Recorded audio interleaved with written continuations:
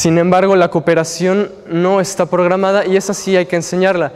Ahora, eh, no quiere decir que no dejemos que compitan. Sí, vamos a buscar cooperar, que haya mayor integración, que haya un fomento del de, eh, trabajo en equipo y entonces competir a, eh, a, través de eso más adelante. Y el estrés que tiene que ver, bueno, también de ahí se deriva el control de la activación, si el jugador está sobreactivado o está demasiado relajado, o eh, si es capaz de controlar la emoción que está viviendo. Y esto no quiere decir que si va a jugar no deba de sentir miedo, o no deba de sentir enojo, no, se, o no se pueda sentir triste. Se trata de enseñar al chico o la chica a identificar sus propias emociones y una vez identificados, ¿qué va a hacer con eso? Sí, estar mentalmente fuerte no quiere decir no sentir, quiere decir saber enfocar eh, sus emociones en el camino que los lleve a lograr eso que están queriendo. Bien, eh, hicimos una comparación inicialmente con el tema de la preparación física, pues también hay cargas y también se administran las cargas en el entrenamiento psicológico. Entonces tenemos indicadores, el volumen, la intensidad, densidad, duración, frecuencia, especificidad y complejidad. Eh, esto, bueno, eh, es eh, extraído de, de la metodología en la parte física, pero igualmente se aplica en el tema psicológico. Bien, empezamos con los, eh, los ejercicios. Eh, los ejercicios de entrenamiento con, con, las cargas psicológicas. Aquí el primero que, que, vamos a presentar es para la entrada en calor. Eh, los jugadores se ponen en una fila, se enumeran y van arrancando, empezando con intensidad baja de la línea de T, de, la T de base, hacia a tocar el poste derecho de la red. De ahí tocan la T de, del saque, van al poste izquierdo y regresan. En cuanto el primer jugador toca el poste derecho, el segundo sale y empiezan a hacer un recorrido. Hasta ahora no hay nada, nada innovador, etc.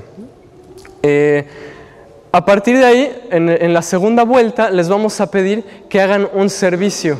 Eh, ese servicio no lo vamos a contabilizar, si entra o no, no pasa nada. Necesitamos obviamente ir calentando y que haya habido un poco de eh, movilidad articular, obviamente no, no se busca eh, que se lesione el jugador, sino todo lo contrario.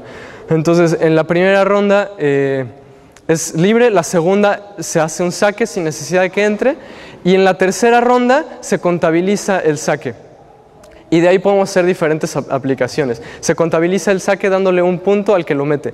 Y ahora, hablando de cooperación, podemos buscar que un equipo junte X cantidad de puntos, los, los puntos que les pongamos de acuerdo al nivel o, lo que queramos o la cantidad de jugadores que sean, y, eh, que entre todos eh, logren eh, alcanzar esa, suma. O se pueden poner dos equipos en diferente cancha y ponerlos a competir, ahí dependiendo qué es lo que cada uno quiera eh, trabajar con, los chicos. Un tema mayor de cooperación, un tema mayor de competencia entre, equipos, aún así hay, hay cooperación con el equipo. Eh, bien, esta es la explicación del ejercicio y variantes, vamos a verlo.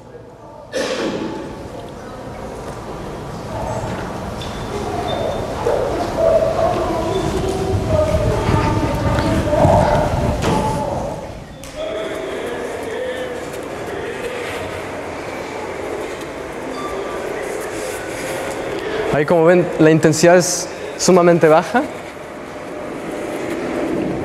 y empiezan a coordinar. Obviamente para el tema, cuando empiezan los saques es importante coordinar en dónde está mi compañero para poder hacer un, servicio sin pegarle, porque ahí puede haber un riesgo también.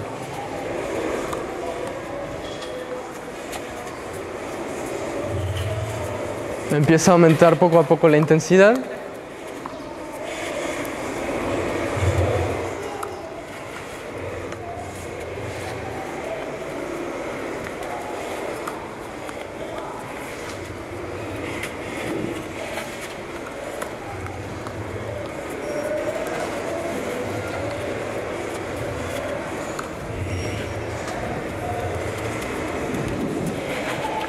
Y después de, la vuelta que se hace más rápido, se les pide que hagan una respiración antes de ejecutar el saque.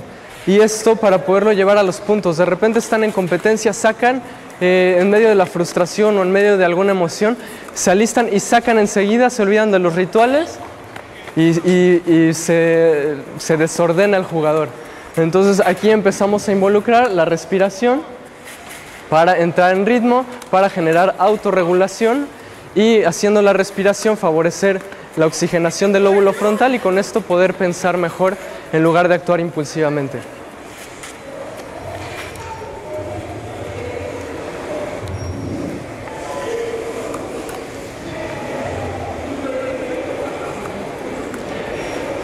Ya es fase final de, eh, de sumar puntos. Ahí ya están en la parte en la que cuentan los saques que aciertan para irlos sumando, sumando a la cuenta colectiva.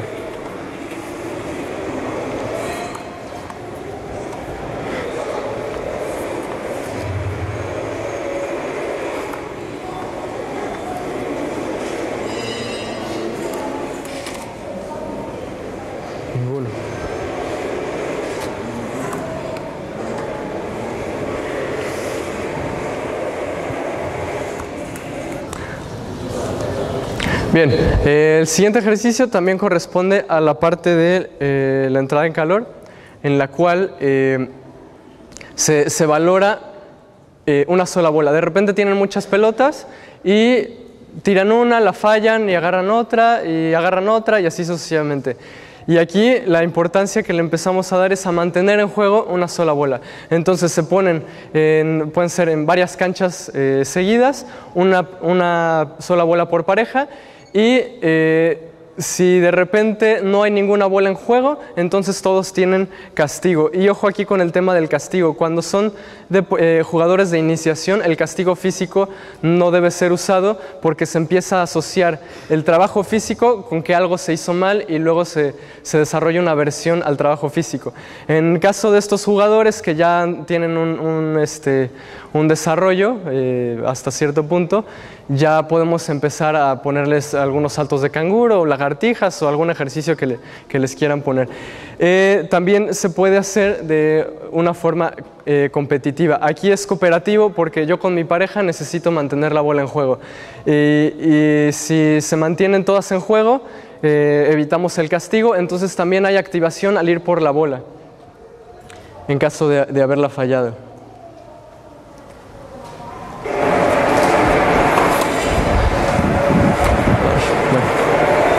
Esa es la primera parte en la que tenemos tres parejas.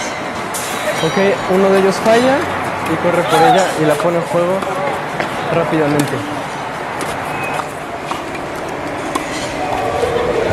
En un momento dado falla uno, fallan dos, fallan tres, toca castigo y pasamos a la parte en la que se hace de manera cooperativa. Esta es una variante en una sola cancha. Están aquí y aquí ya es de forma individual. Eh, el que se mantenga metiendo bolas se queda en su posición y el que falla se sale y entra alguno de los que está en la red esperando. Entonces el anterior era más cooperativo y aquí ya empieza a ser un poco más individualista.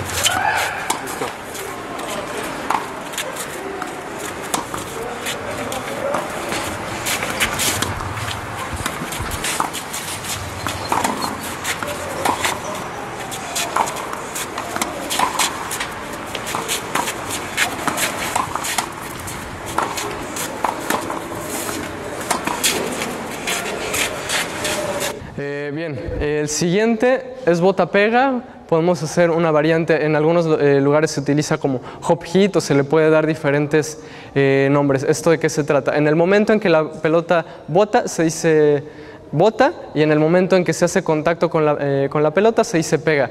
Esto ayuda a mantener el foco, el foco de atención, trabaja la atención en lo que se está haciendo y además favorece a desarrollar el ritmo, el ritmo de juego. Y la, variante de ese ejercicio es con, split. De repente vimos que los chicos no hacían split, no lo marcaban. Entonces se les pedía que en lugar de que cuando votara hicieran el split, en el momento en que, de, que el otro jugador hiciera contacto con la bola, dijeran e hicieran el split. Vamos a ver cómo queda.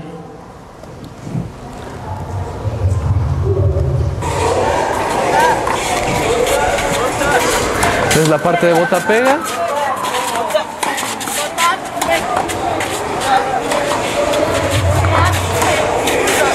Donde se alcanza a escuchar cómo están diciendo, verbalizando lo que están haciendo y ahí mantienen su atención en ese ejercicio.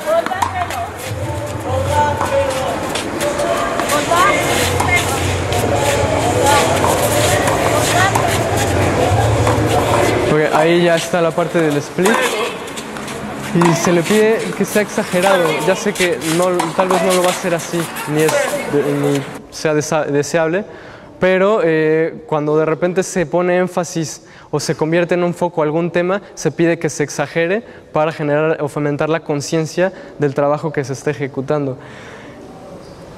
Y desarrollar la conciencia de lo que se está haciendo puede resultar muy importante, ya que muchos jugadores con talento ejecutan en, en automático desde el principio, que si bien sí es lo deseado, de repente cuando están pasando por un mal momento no saben cómo regresar a su, a su buena ejecución. Entonces el tener claro qué se necesita hacer para, para, para mantener un nivel eh, adecuado es, es, muy importante y por eso la conciencia eh, debe ser buena.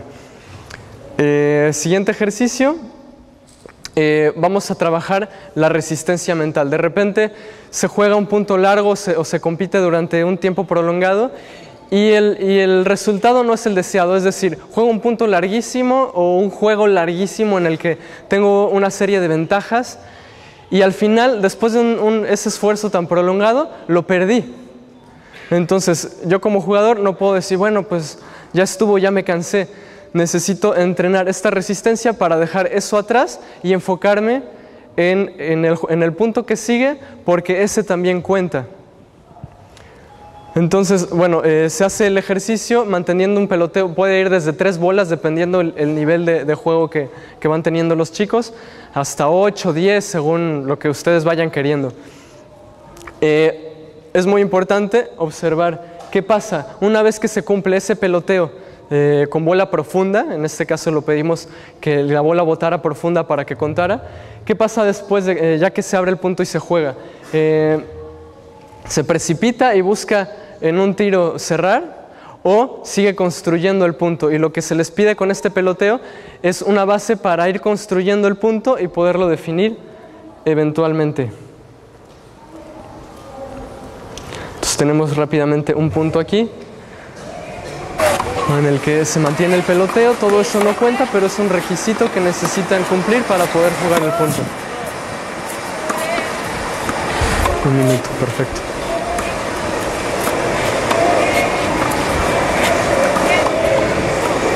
Ya se abrió el punto.